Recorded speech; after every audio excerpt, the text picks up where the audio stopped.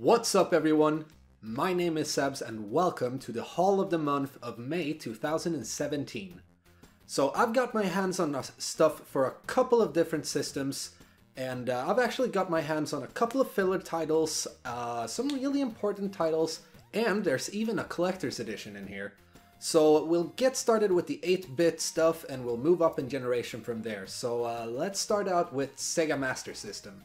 So recently I've started to look for more and more Master System games, and uh, this is to give myself the incentive to get my console RGB modded. So as it stands now, my collection it's uh, it's still small, but I've garnered some cool titles, and uh, today, unfortunately, I only got some filler titles for the system.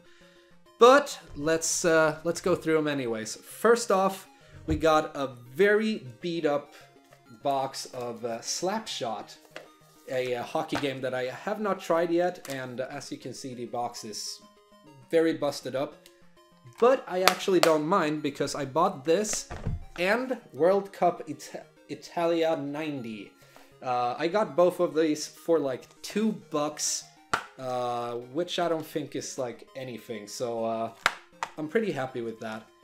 And except for uh, these two uh, filler titles, yeah, it's not that fun to watch. I found four loose cards too. One Wimbledon, one Quartet, one Psycho Fox, and last but not least, one Casino Games. And uh, as I've said, that's a bunch of filler titles for the system, but it's it's getting my my collection a little bit beefier, and I like that. So I found two NES games online. The first being uh, Bugs Bunny's Birthday Blowout, and the second being Little Nemo, the Dream Master. And uh, if we take a look at the boxes right here, I'd say the quality is not the best, but it's in an acceptable condition. I mean, yeah, it's a little bit flaky and all that, but then again, I actually didn't pay that much for these games. Other than the boxes, I'd say Bugs Bunny's Birthday Blowout, except for the little bit of a flake right here on the uh, the card, I'd say it's, it's in an acceptable condition. And if we take a look at Little Nemo right here, the only fault I can find is the peeling of the label right up here. But as I said, I barely paid anything for him, so I don't mind. So next up, we're doing a jump from the third generation of home consoles all the way to the fifth generation, and more specifically to the original PlayStation. So most of you watching probably figured out that I'm a huge fan of the Final Fantasy games. I've even got a Moogle tattooed on my leg, so yeah, you might call me a fan. Anyways, the reason why I'm talking about my Moogle is the two games that I acquired this month for the original PlayStation. The first being Final Fantasy VIII, and the second, Final Fantasy IX. The latter being my favorite RPG title on the original PlayStation. And with these two titles acquired, I actually have all three numeral titles on the original PlayStation, and I'm two steps closer to uh, a full Final Fantasy collection. And if we take a look at the games right here, I'd say, uh, except for the little crack right here, let's put this one down, little crack right there, and a small crack on the back side. Other than that, this is in perfect condition. Both the CDs and the manual are in perfect condition. So let's take a look at all four. I actually love the artwork on uh, the CDs in this one. Oop, crap. Just like every single freaking PlayStation 1 game, the teeth or whatever you can call them that hooks the CD don't really work anymore. So let's just be careful. There we go. And let's take a look at the disc 3 and 4 right here. It's a freaking lovely looking uh, box art on it. Or well, cover art, or whatever you can call it. Anyways, move back to Final Fantasy VIII. There's actually a little bit of sticker goo on the sides of it right here. And somehow the backside is upside down. So I actually have to pop this one open and flip it. Anyways, just like the other one, the teeth on uh, this one is not really that good, so I'm, I'm, gonna take it easy while, while lifting this up. The manual has seen its better days, but it's still it's still fine, I'd say. You can read through it and everything, so uh, no complaints there. And let's be careful while doing this. both CDs right here are actually pretty good looking, and the cover art is not as good as on Final Fantasy IX, but I still like it on this one. And let's hold Savior in place right there, and that's the CD 3 and 4 for Final Fantasy VIII. There we go. So my friend Max, uh, you might remember him as the hashtag abuser in my uh, Pokemon Go video that I released last year. Hashtag big boss, high level, noob. So recently Max visited his parents and uh, while he was there he was actually going through his old stuff and he found a pile of N64 boxes and since he's not a collector and he doesn't even have an N64 anymore, he passed along the boxes to me. So starting off, he actually gave me a box for Banjo-Tooie and uh, there's a manual, there is a, it's a perfect condition box and the insert is still in there and everything. The only thing I'm missing is actually the game.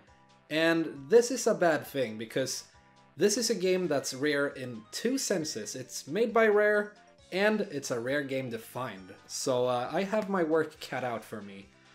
Next up, we got another rare game. It's Donkey Kong 64 and uh, he actually gave me both the manual and the box for this one. And I already have this game since before, so uh, now I actually have a complete set. Next up, he gave me a box for my copy of Super Smash Bros. for the N64, and the uh, funny thing with this one is I already have the game. Now I'm only missing the manual from having a complete set. And last but not least, and unfortunately a little beat up, but Max gave me a box for Zelda Ocarina of Time, and the manual is still inside. Even the insert is still inside, so uh, I'm just I just need to pop my game in here, and I have a complete set of this one. Next up, we're moving into the sixth generation of home consoles, and we're taking a look at two Resident Evil games. The first one being Resident Evil Zero for GameCube. With Resident Evil Zero, they actually tried out a couple of new things, and uh, some of them actually worked out. For example, they had two main characters in this game, and with the push of a button you can switch between them, giving Capcom really cool opportunities to tell a story when the main characters were separated from each other. Other than that, they actually ditched the uh, item box and uh, instead they let you put items on the floor. This turned out terrible, because let's say you had to move from one save room to like two save rooms past that point you actually had to like pick up the items, move them over there, and drop them on the floor. And this was this was just a, too big of a hassle. This happened more than once during the game, and it was fucking bullshit. Anyways, let's let's take a look at the cover here. Except for a few scratches on uh, the surface, and I'd say they're barely noticeable.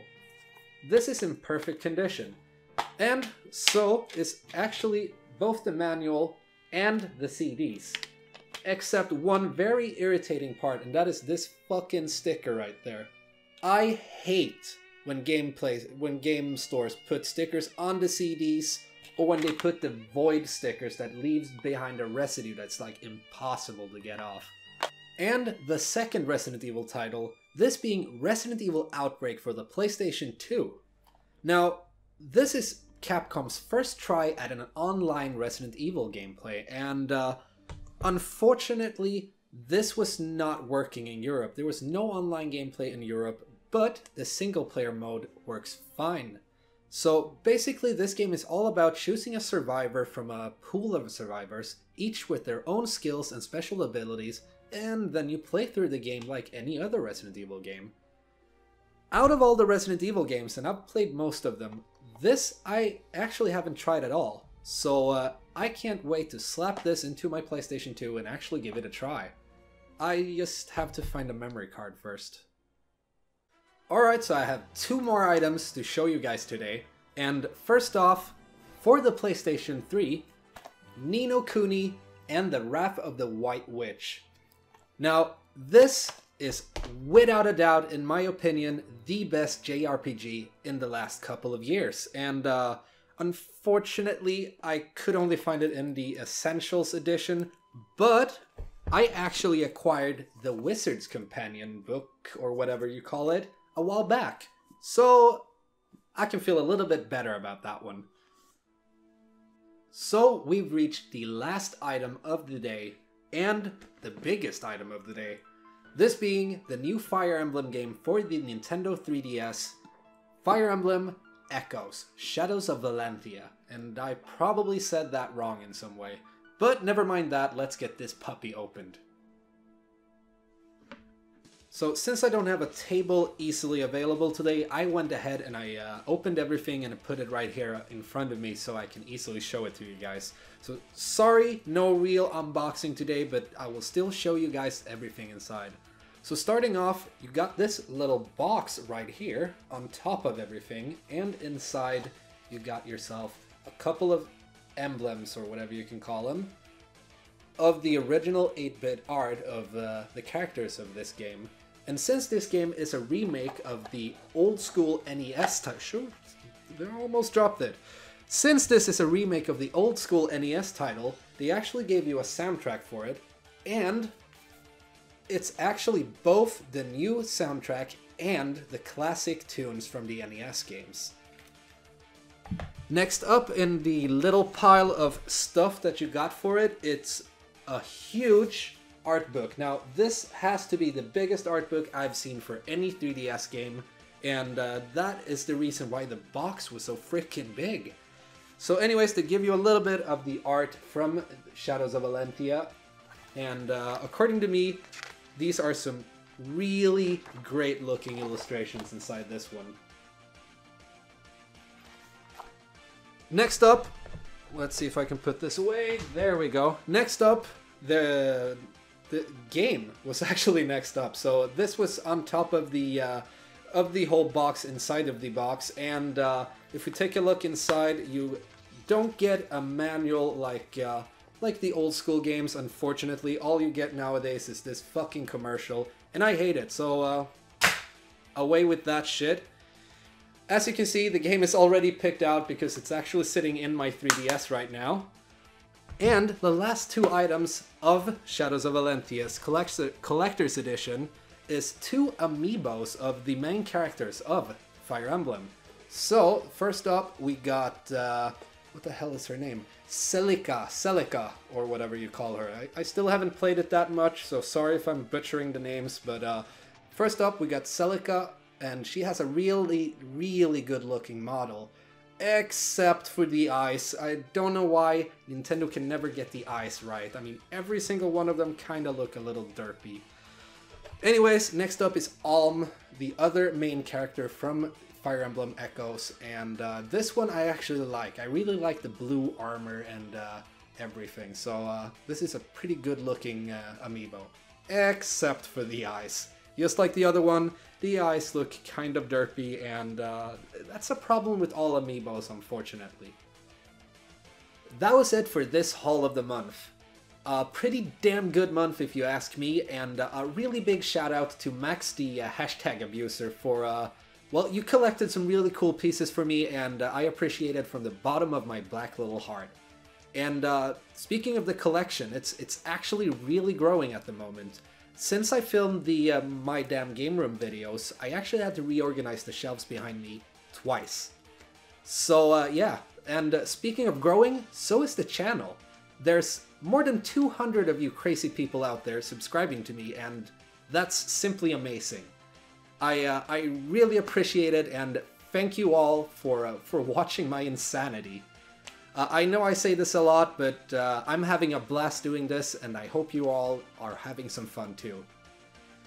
I will see you all in the next video. Peace out.